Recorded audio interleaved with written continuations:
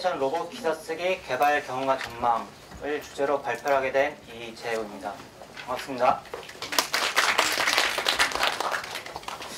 네, 우선 저에 대해서 아는 분이 아마 아무도 없을 거라고 생각하고 간략하게 설명을 드리도록 하겠습니다. 어, 약 1년 반 전까지 블러터, 여기 블러터 개발자로 있었고요. 그때 어, CMS 엔진 업데이트나 그리고 서버 안정화 작업, 그리고 속도 개선, 그리고 사이트 개발, 새로운 미디어 시도 같은 거를 함께 해온 개발자입니다. 그러다가 지금은 어, 테크홀릭, 그 테크봇을 만드는 미디어죠. 테크홀릭과 그리고 메타 블로그 수집하는 RSOS OW라는 사이트 그리고 바미에서 만든 플랫폼을 개발 중에 있습니다. 이 많은 수식어들은 그냥 치우고 그냥 웹 개발자라고 기억하시면 좋을 것 같습니다.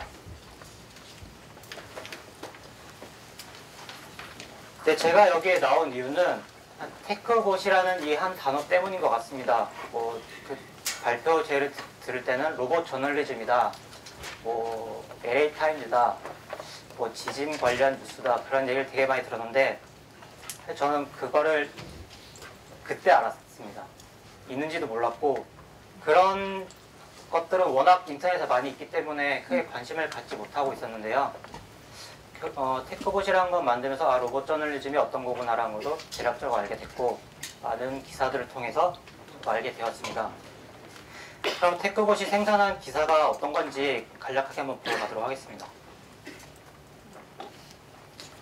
예, 이 기사는 주말 토요일에 자동으로 모든 것을 작성하고 발행까지 마치는 그러니까 사람, 사람은 가만히 있어도 그냥 자동으로 생성을 되는 기사입니다. 그래서 이렇게 긴 기사가 나오게 됩니다. 예, 뭐 내용은 크게 중요하진 않을 것 같고요.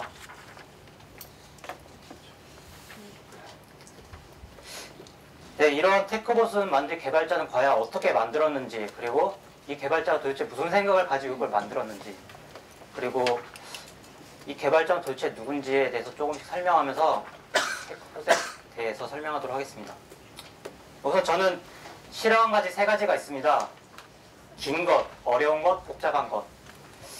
어, 그런데 IT 세계는 굉장히 길고 복잡하고 어렵습니다.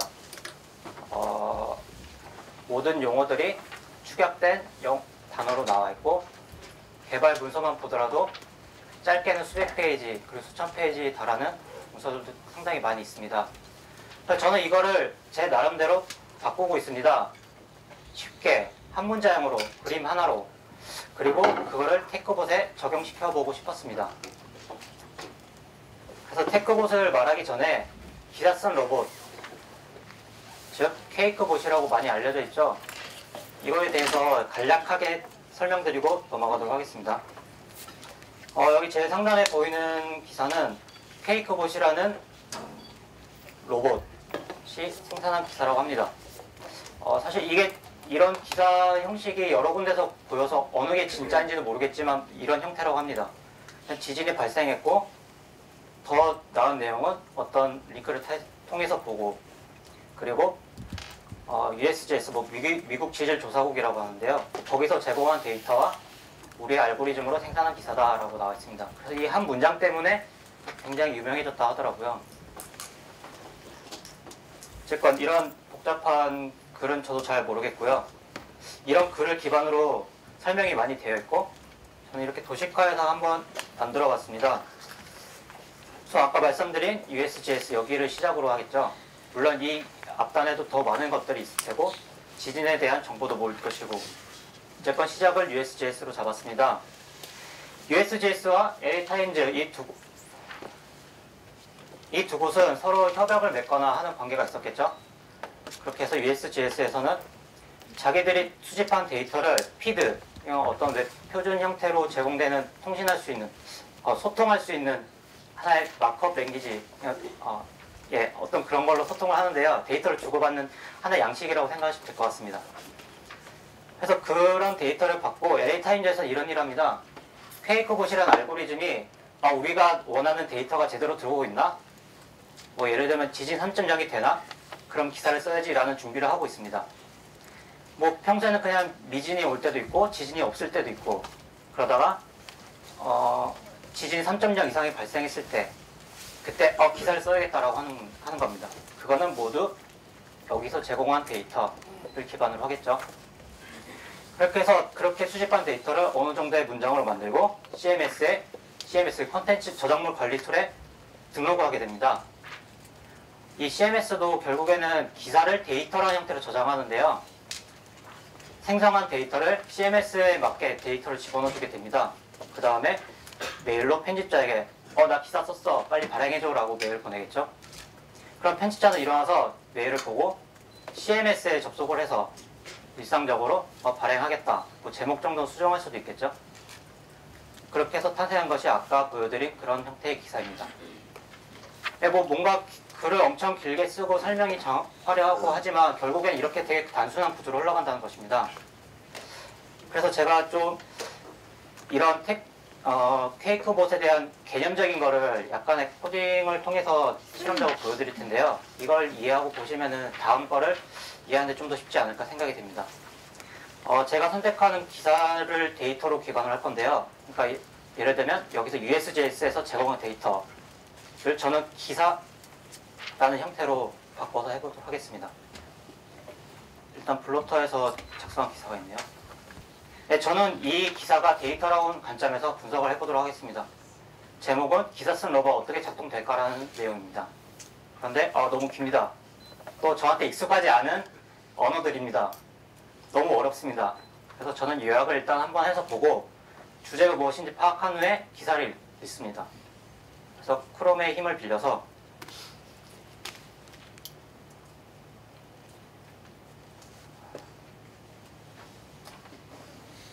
한번 기사를 요약해 봅니다.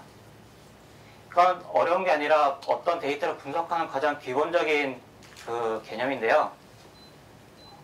어, 이 기사에 얼마나 많은 공통된 것들이 있고 그거를 취합해서 몇 개가 있고 많으면 많을수록 더 중요할 수도 있다라는 개념을 word counting이라고 합니다. 그런 개념을 쓴 것인데요. 예, 여기에 나와 있는 어, 생활 코딩에 있는 open source word counter JS라는 걸 사용했고요. 여기 발표하기 편하게 제가 좀 약간의 수정을 가했습니다. 예, 여기에 사용된 단어는 343개 정도 되네요. 뭐 정확하게 처리하지 않아서 적을 수도 있습니다. 그 중에서 많이 사용된 단어가 기사라는 용어가 17번, 데이터가 13번, 9번, 7번, 6번 이런 형태로 일단 50개 정도만 취합해서 보여드리고 있습니다. 근데 두 개, 이 긴 기사에 단 두 번밖에 사용하지 않았다. 이런 거는 버립니다. 그리고 네 개, 다섯 개, 뭐 다섯 개 정도는 네, 괜찮은 것 같습니다. 그리고 이것도 너무 적으면 한 10개 정도를 뽑아서 일단 보도록 하겠습니다. 예, 그런데 5개 미만은 버리도록 하고요. 그리고 동사도 버리도록 합니다. 그러면 단어만 남겠죠? 이걸 요약을 한번 해보도록 하겠습니다. 제목은 기사 쓴 로봇 어떻게 작동될까입니다. 예, 기사를 작성합니다. 데이터를 기반을 하죠. 그리고 로봇이 알고리즘을 사용합니다. 그리고 그걸로 작성을 하죠. 이거를 로봇 저널리즘이라고 합니다. 어, 어느 쪽 의미가 맞나요? 예. 로봇 저널리즘 굉장히 단순합니다. 이게 전부입니다. 여기에 편집자, 뭐 기, 자 어떤 사람의 의도를 담아서 만들어서 알고리즘을 만들고 그게 하나의 로봇 저널리즘이 되는 겁니다. 한 가지 더 보도록 할까요? 예, 이번에는 또 다른 글을 가져오도록 하겠습니다. 그럼 분석하는 게 약간은 바뀌겠죠? 이것도 어디 어느 데이터를 가져올 것이냐만 바꾼 후에 똑같은 방식으로 그렇게 분석을 한번 해보도록 하겠습니다. 이것도 똑같이 내용을 가지고 분석을 하도록 하겠습니다. 한번 볼까요? 자 여기서 제목은 LA 타임즈 알고리즘 기사 어떻게 작성되나입니다. 어, 여기는 꽤 많은 단어가 사용됐네요. 520개, 아까보다 약 200개 가까이 많은 단어가 사용됐고요. 여기 똑같은 방법을 한번 분석을 해보도록 합시다. 우리는 10개만 보기로 합니다. 그리고 5개 미만인 건 버리고 동사도 버리도록 해보겠습니다. 어, 그런데 여기 동률이 있으니까 이것 함께 집어넣도록 합니다. 이 기사의 제목은 LA 타임즈 알고리즘 기사 어떻게 작동되나입니다. 한번 알아볼까요? 예, 기사를 작성합니다. 데이터를 기반으로 하죠. 그리고 LA 타임즈에서 한 겁니다. 얘네들은 어떨 때 쓰냐면 속보와 관련된 기사를 작성할 때 합니다. 그리고 알고리즘을 사용하죠. 그때 어떤 데이터를 기반으로 하냐면 지진과 관련된 데이터 그리고 그 작업을 처리하는 데 사용합니다. 예, 매우 간단하죠? 예, 여기서 저한테 엄청난 위기가 왔네요. 소스 코드도 공개되어 있고 분석 방법도 다 공개했습니다. 그렇다고 제 일자리가 없어질까요? 기자들은 이런 얘기를 합니다. 아 로봇이 등장하면 우리 일자리 없어지는 거 아닌가? 우리 잘리는 거 아닌가? 전혀 그렇지 않고 단지 우리가 분석하는데 시간이 너무 많이 걸리니까 그것을 단순화하고자 기계의 힘을 빌리는 것일 뿐입니다. 그리고 그 기회를 만들어내는 것은 결국엔 사람이 하는 것이죠. 자, 이런 간단한 개념을 가지고 그 다음 이야기를 진행하도록 하겠습니다. 자, 이 이후부터는 거의 모두 다 그냥 부연 설명에 불과합니다. 아, 이런 개념을 가지고 내가 어떻게 만들었고, 무슨 생각을 갖고 있고, 어떻게 됐으면 좋겠다. 가벼운 마음으로 들어줬으면 감사드리겠습니다. 자, 이제 택걸릭으로 얘기 넘어가 보죠. 아까 처음에 보여드렸던 위클리 초이스. 네, 그걸 만들기 위해서 택콜릭은 기다리고, 모으고, 베껴서 만들었습니다. 매우 단순하죠? 예, 어떤 걸 기다렸냐면 데이터가 모이기 기다렸습니다. 우리는 분명 SNS가 굉장히 중요하다고 하는데 거기서 얼마나 공유가 되고 통계를 내보고 그거를 기사에 적용하고 우리 시스템에 적용해볼까라는 논의가 전혀 아, 이루어진 것도 있을 수도 있지만 전혀 이루어지지 않았습니다. 그래서 어 이거 분명히 공개되는 데이터인데 왜 수집하지 않을까? 그래서 모았습니다. 여기서 한 가지 더 택볼릭 실험실이라는 걸 운영하고 있습니다. 이거를 괜히 모은 것이 아니라 저는 기자분들이 어떤 생각을 갖고 있는지 잘 모르겠습니다. 그리고 그 사람들이 어, 어디까지 모르는지 어디까지 아는지도 사실 잘 모르겠습니다. 그래서 저는 좀 다른 방식을 사용했는데요. 어 나 이거 할 줄 알아.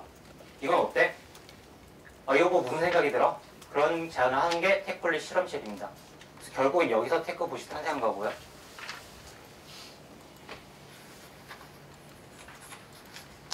그렇게 해서 기다린 후에 테콜릭 실험실에서는 또 다른 작업을 하- 진행합니다. 아, 뭐 간, 간단히 카운팅만 하면 이게 무슨 의미가 있을까? 아, 여러 형태로 모아보자. 그래서 PDF 전자책으로도 만들어보고 타임라인으로 만들어보고 이렇게 여러 가지 시도를 하게 되고요. 저는 기사에 대해서 잘 모릅니다. 어떻게 생겼는지, 어떤 생각을 가지고 쓰는지, 어떤 구성을 하는지. 그래서 기자분께 묻죠. 아, 예전에 이런 거 있었던 것 같은데 이거 어떻게 쓰셨어요? 그래서, 아, 그럼 나 샘플 한번 보내줄게 하면서 빈칸을 뻥뻥 뚫어서 보내줍니다. 아, 여기에 채워넣으면 되는 거야. 이게 그냥 기본이야. 이게 그 뭔가 지금 요즘 우라까이라고 하죠. 그런 게 아니라 일정 스트레이트 기사라고 하나요? 그런 거에 일정 포맷이 있다고 하더라고요. 그런 거를 받아서 아 그러면 저 여기 이런 거 할 수 있을 것 같아요 라고 말을 하고 새롭게 2014년 위클리 초이스를 만든 것입니다. 네, 그거는 누군가의 사람의 기준에 맞춰서 그 사람의 스타일로 빈칸 채워넣기 한 거죠 단순하게는. 알고리즘 매우 간단합니다. 분석한 데이터가 별로 없었습니다. 일주일의 기사 많아봐야 100개? 그냥 손으로 작업해도 충분히 할 수 있는 양입니다. 하지만 그 개념을 기자에게 알려주고 싶어서 이렇게 한 것입니다. 자, 알고리즘에 지- 집착한 것이 아니라 데이터들 간의 연결을 좀 이런 식으로 연결할 수 있다는 것을 보여주고 싶었습니다. 어, 여러분이 모은 데이터는 기사겠죠? 이런 이런 식으로 연결돼서 웹사이트에 표현이 되는 거고요. 이런 데이터를 더 모으면 결국엔 이런 새로운 연결이 만들 수 있다. 그러니까 가능한 다 모아보자. 그리고 당신이 잘 아는 그라운드에서 어떤 데이터를 모을 수 있는지 말을 해달라 라고 말입니다.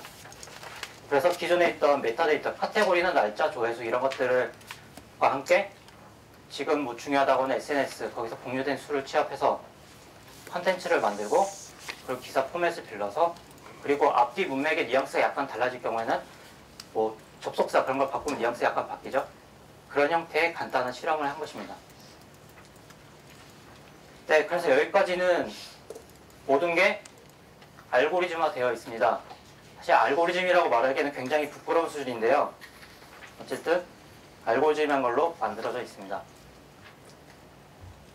예, 굉장히 개념이 쉽죠. 근데 이걸 도대체 어떻게 생각해서 만들었을까요? 어떤 생각을 가지고 만들었을까요? 저는 이걸 만들기 위해서 관심 있는 오픈소스를 굉장히 많이 찾아보고 읽어보고 어떤 대화가 오거나 보고 있- 지켜보고 있습니다. 어, 테크홀릭은 워드프레스라는 CMS를 사용하고 있습니다. 오픈소스죠.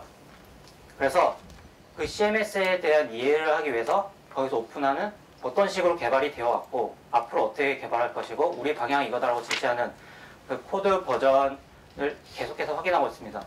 이거를 처음 볼 때는 굉장히 어려운데 뭐 한 해 두 해 살펴보다 보면 아 그냥 원래 이렇게 가는 거구나 라고 느끼게 됩니다. 이런 기간이 꽤 길었고요.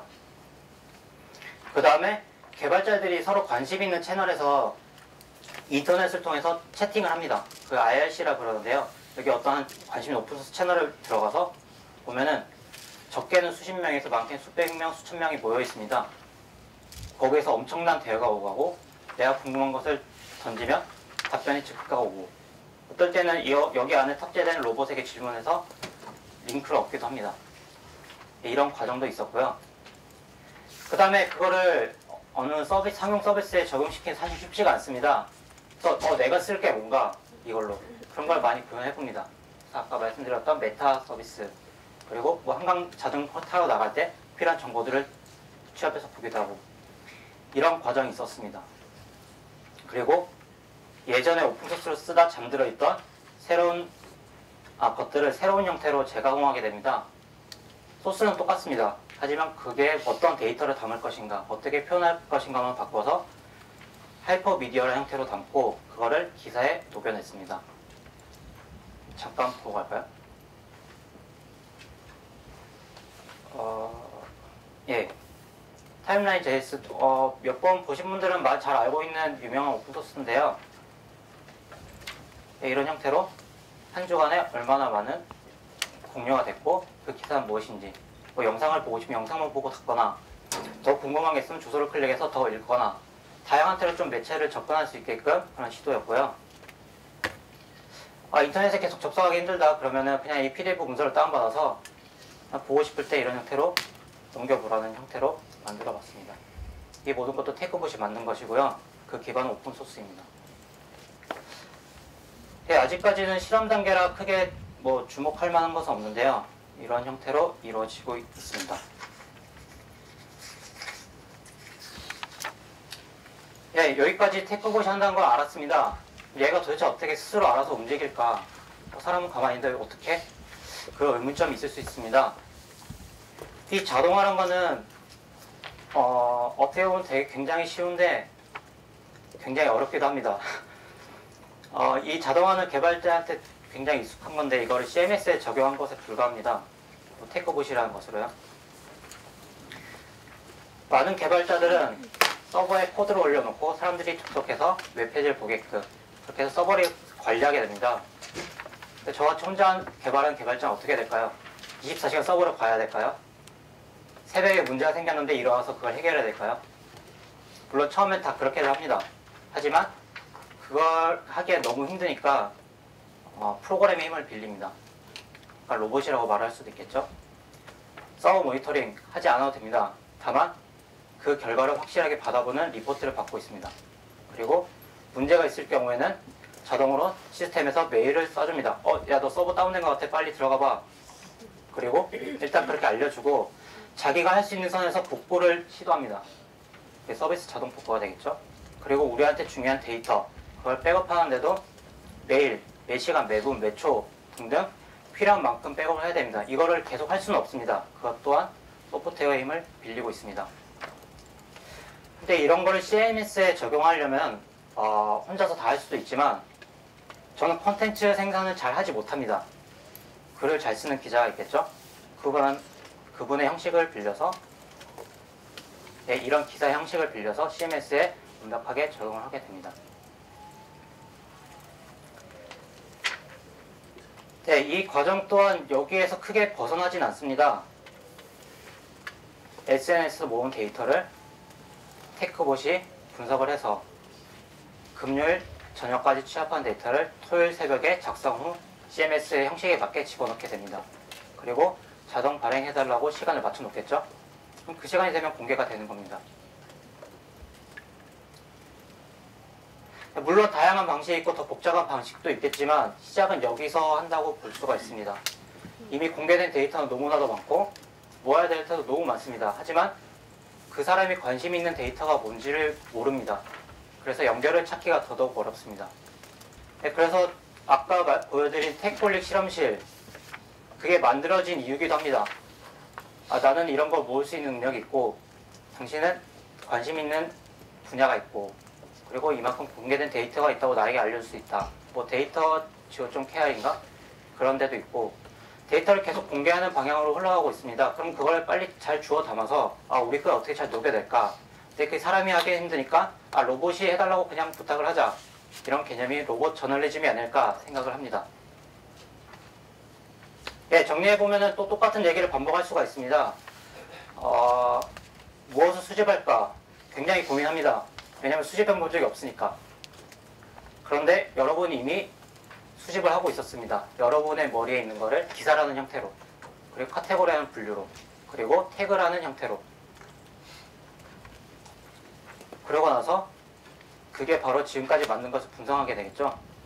그리고 수집할 수 있는 것이 또 무엇이 있는가? 그러니까 공개된 데이터가 무엇인가? SNS 공유, 공유수 그런 것이 되겠죠. 그래 모으긴 다 모은 것 같아. 현재 또뭘 할까?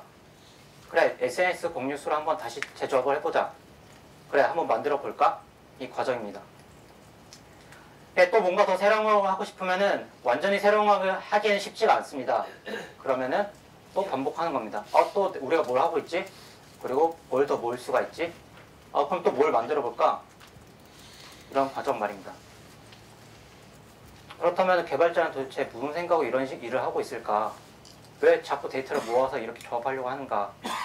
그 기반은 우리가 지금 서비스하고 있는 환경, 가상의 환경, World Wide Web입니다.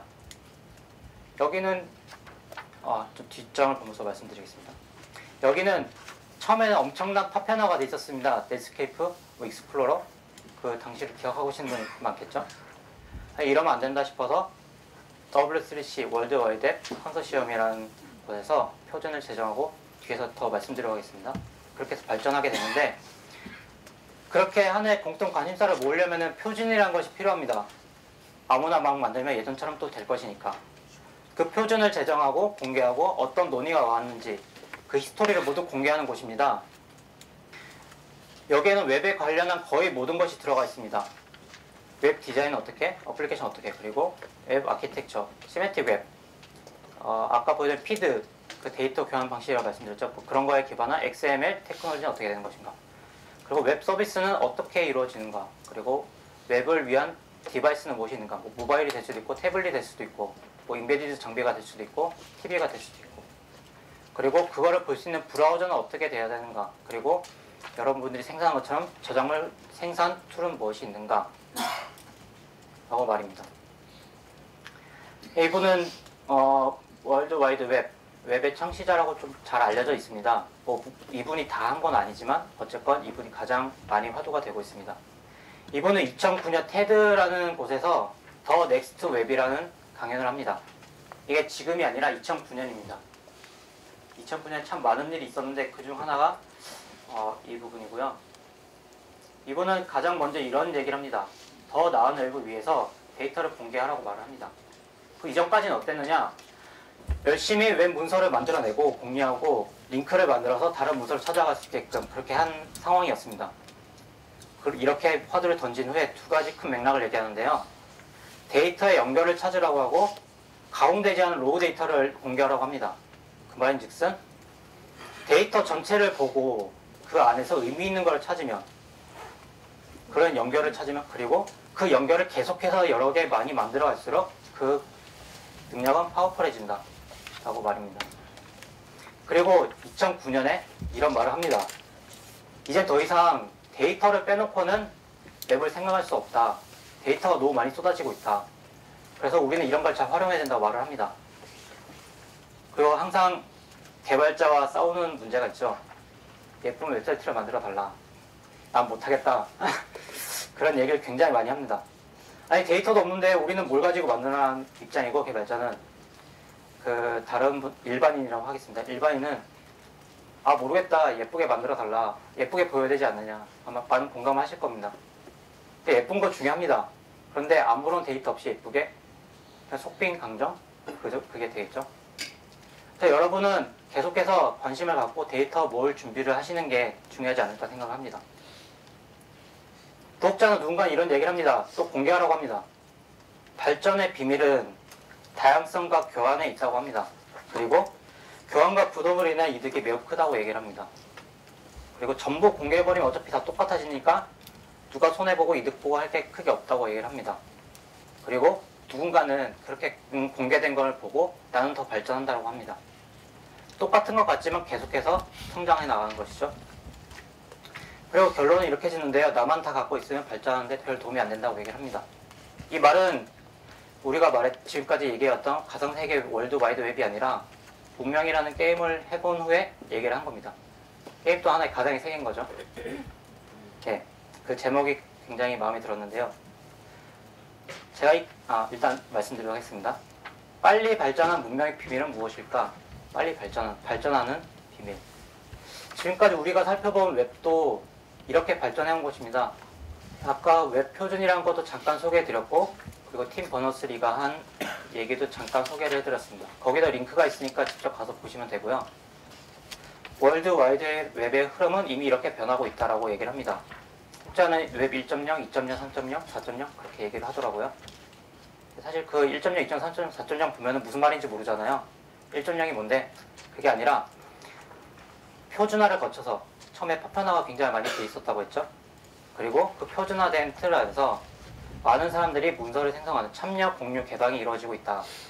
그러다 보니까 너무 많은 데이터가 쏟아져서 데이터의 중요성이 강조되고 있다. 라고 하- 하고 있습니다. 네, 개발자의 눈으로 본 웹은 이렇습니다.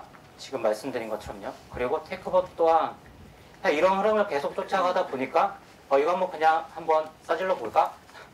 되게 실험적으로 아, 다른 사람이 이걸 가지고 무슨 생각을 할까? 그리고 누군가 의견을 좀 어떻게 바뀔 수 있을까라는 고민을 한 상태에서 나온 것입니다. 네, 마치 제가 발표한 이 PPT처럼 아, 월드 와이드 웹 첫 페이지 이렇게 생겼었습니다. 뭐 화려한 미디어도 없고 단순히 텍스트와 링크, 단순히 문서를 공유하자는 취지였고요. 어, 물론 처음에는 이런 화려한 브로드도 없이 그냥 까만 화면에 초록색 글씨 뭐 이런 정도였겠죠. 어, 저는 그렇게 생각합니다. 로봇이 절대 우리의 삶을 위협하지 않을 것입니다. 물론 잘못 사용하면 그럴 수도 있겠죠. 그냥 그 하나의 그냥 성장통이라고 생각합니다. 그리고 지금 여기에 나와 있는 수많은 링크들은 제가 이거를 PPT를 만들면서 가능한 웹에서 참고할 수 있게끔 제가 보- 연결 지원한 링크들인데요. 여기에 하나하나씩 들어가 보시면 굉장히 많은 사람의 시각으로 굉장히 많은 방식으로 하나하나 소중한 기사, 글을 그리고 매- 영상들을 만들어내고 있습니다. 과연 이것 이런 다양성을 다 무시해버리고 로봇 하나로 대체한다는 것은 너무 잔인하지 않을까요? 과연 그 웹을 누가 쓸까요? 그런 웹이 과연 재밌을까요? 저는 그런 질문 을 한번 드리고 싶습니다. 어, 굉장히 추상적으로 어, 웹은 이렇게 가니까 하는 거다, 따라가는 거다라고 저는 말씀드렸었습니다. 근데 IT 세계에서는 더 많은 증거들이 나오고 있습니다. 예전부터, 근 10년 전부터, 그 훨씬 이전부터 어떤 얘기가 나오고 있냐면 예, 64비트 스마트폰 시대가 열린다고 합니다. 서버에서는 이미 예전부터 사용되고 왔었고 이건 2013년이니까 현재 많이 나와 있죠. 예, 더 많은 데이터를 한꺼번에 처리하고 더 많은 데이터를 저장할 수 있다고 얘기를 합니다. 그 말인즉슨 64비트 운영체제라고 말씀드릴 수 있습니다. 그리고 우리는 IPv4 어, 좀 어려울 수 있겠지만 검색해 보시고요. 그게 사물 인터넷과 연결을 하려니 너무 적다 숫자가 그래서 IPv6라는 것이 나와서 이미 서버 쪽 네트워크 장비 쪽에는 많이 적용이 되고 있습니다. 그 말인즉슨 인터넷에 모든 사물을 연결시키겠다는 겁니다. 그러면 데이터가 무조건 쏟아지겠죠.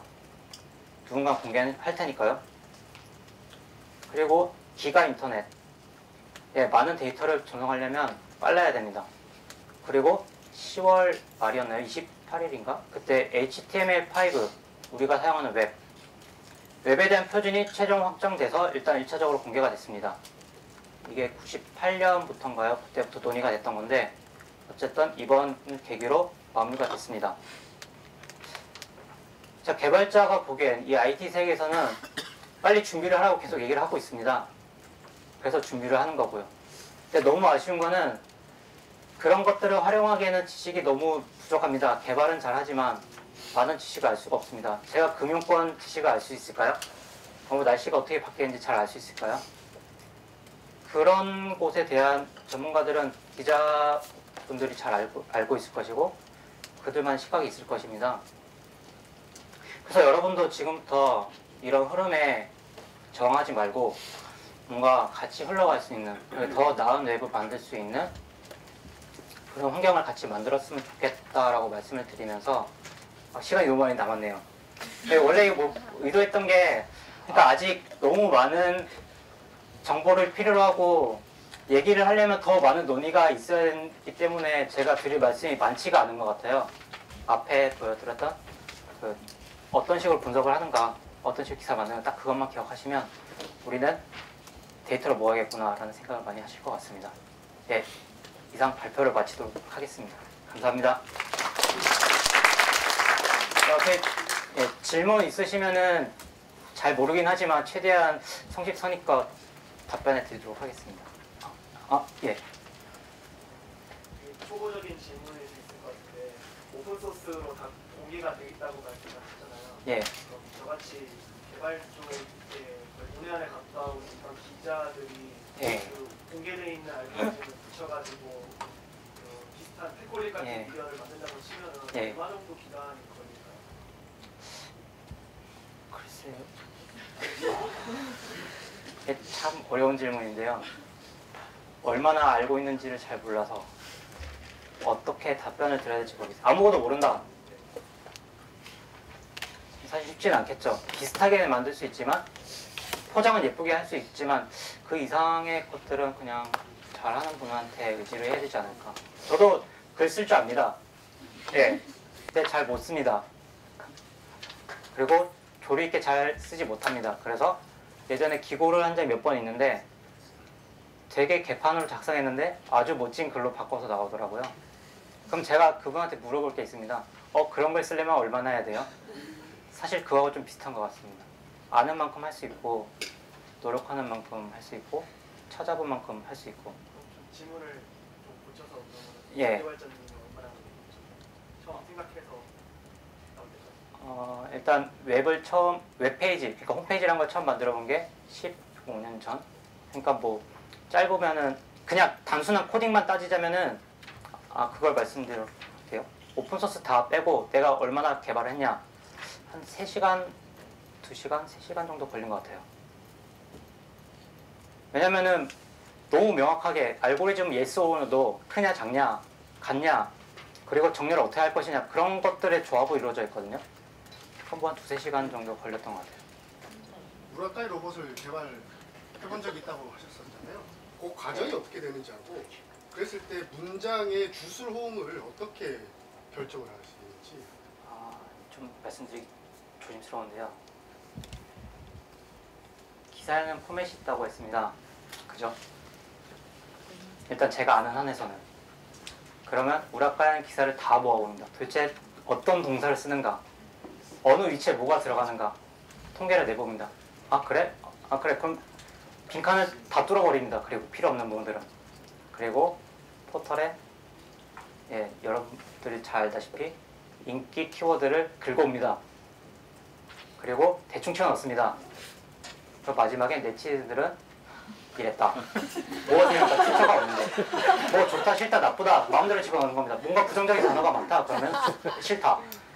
긍정적인 단어가 좀 많이 보였다. 그러면 좋다. 굉장히 단순하거든요. 알고리즘 통해서 다 작성을 했어요. 아까 말씀드린 것처럼 알고리즘은 없습니다. 예, 더하기, 빼기, 나누기 그런 것 같고 이미 다 완성돼. 아까 그 우라카이 한 것처럼 빈칸을 채워넣는 형태로 되어 있고요.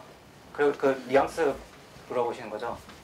그러니까 그 부산을 다 이제 세워 놓는다고 해서 이제 저게 정말 사람이 쓴 것처럼 아 사람 쓴 거 같나요? 아 정말요?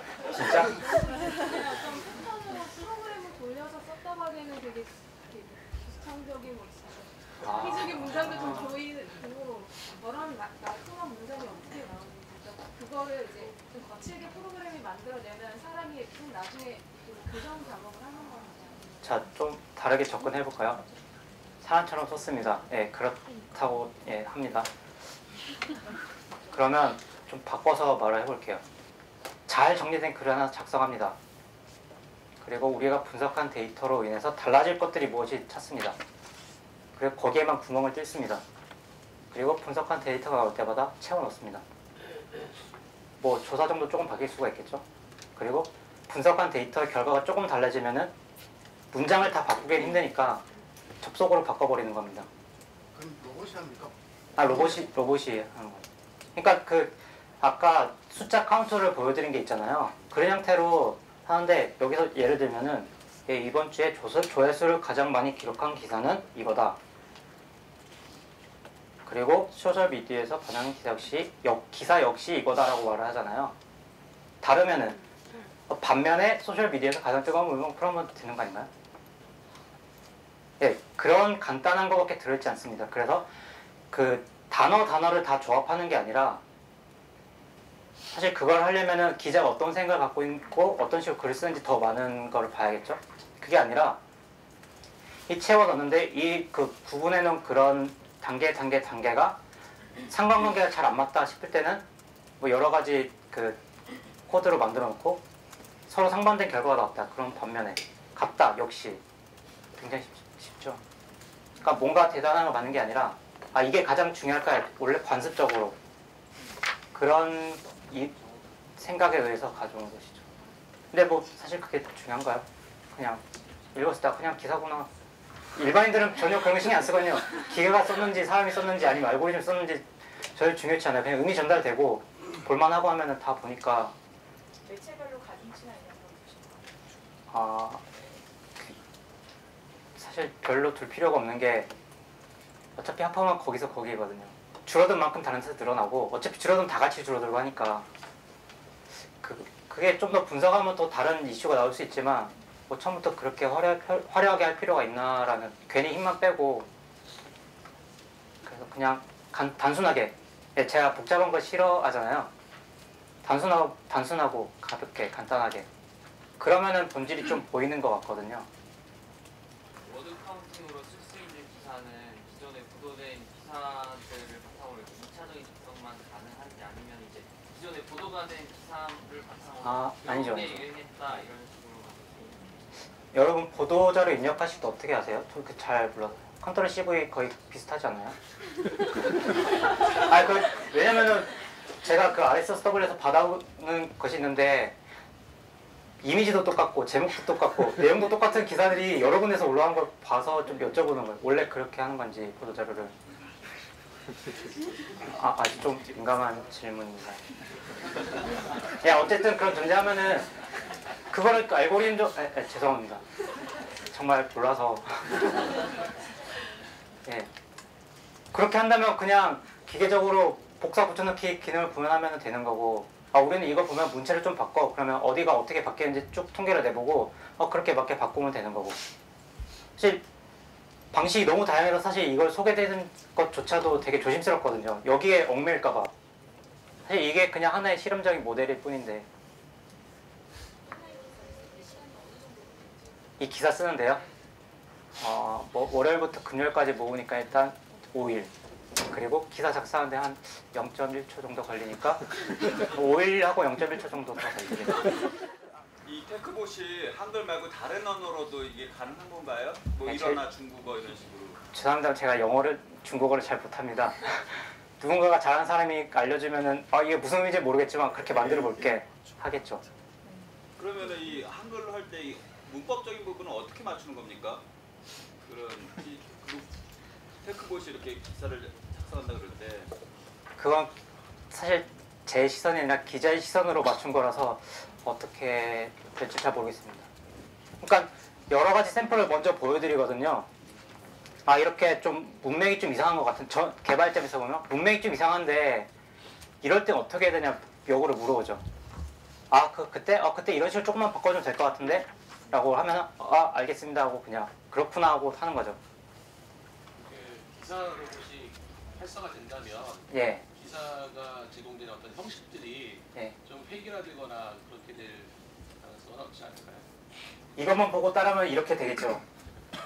정말. 데이터 똑같은 거 소셜시스 모으고, 일주 weekly choice 똑같이 만들고, 이렇게 한 천 군데 갖다 놓고 하면 다 이런 것만 나오겠죠. 근데 만약 예를 들어서 날씨 관련 데이터를 모은다고 생각하면은, 날씨 정보를 모아요. 그리고 우리는 tech 기사를 쓰고 있어요. 근데 비 오는 날 뭐가 많이 팔린지 알고 있어요. 근데 마침 오늘 비가 와요. 그러면 어, 오늘 비가 옵니다. 무슨 앱을 쓰면 어떠, 어떻게 좋습니다. 그렇게 기사를 만들 수도 있겠죠. 그렇지 않을까요?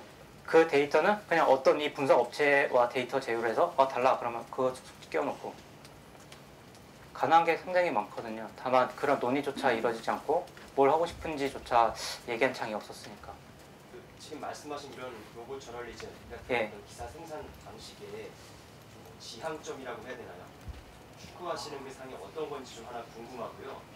비슷한 연결되는 연결되는 질문인데 예. 그러면 기존의 저널리스트들이 예. 이 같은 어떤 기사 생산 방식을 수년 내에 조만간 향후에 다들 숙지를 해야 예. 생존이 가능할 거다 이렇게 보시는지 그것도 좀 아울러 궁금합니다. 정말 이기적으로 개발자 감정에서 보면 그게 아니면은 사실 살아남기야 하겠지만 관심을 안 두지 않을까 생각이 듭니다.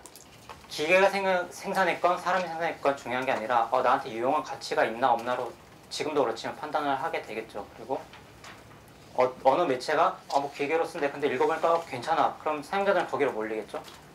또 어떤 곳은 어 그럼 기계를 사용하지 않는데도 어, 더 글을 더 잘 써. 그럼 그쪽으로 몰리겠죠. 그런데 알고 보니까 그 잘 쓰는 매체는 이렇게 기사는 자동으로 생성 안 하는데 데이터 분석을 활용하고 있을 수도 있는 거죠. 뭐 굳이 기사까지 써야 되나요? 아까 word counting 여기에 단어 몇 개인지 세는데 얼마나 걸릴까요? 한- 뭐 세, 지금 세보시겠습니까? 지금 저 이제 시간이 거의 다 됐거든요. 못 세거든요. 저도 못 세요. 그러니까 그냥 기계의 힘을 빌려오는 겁니다. 아, 더, 난 더 편하게 일하고 싶고, 다른 거 하고 싶고, 그걸로 더 좋은 거 쓰- 만들고 싶고 하니까, 귀찮은 거, 시간 오래 걸리는 거, 기계가 빨리빨리 할 수 있는 거 다 넘겨버리는 형태로 하고 있는 거죠. 사람이 하기 귀찮고, 해야만 하고, 근데 기계는 빨리 할 수 있고, 그걸 보고 판단할 사람이 있으면은, 그렇게 하는 게 더 좋지 않을까요?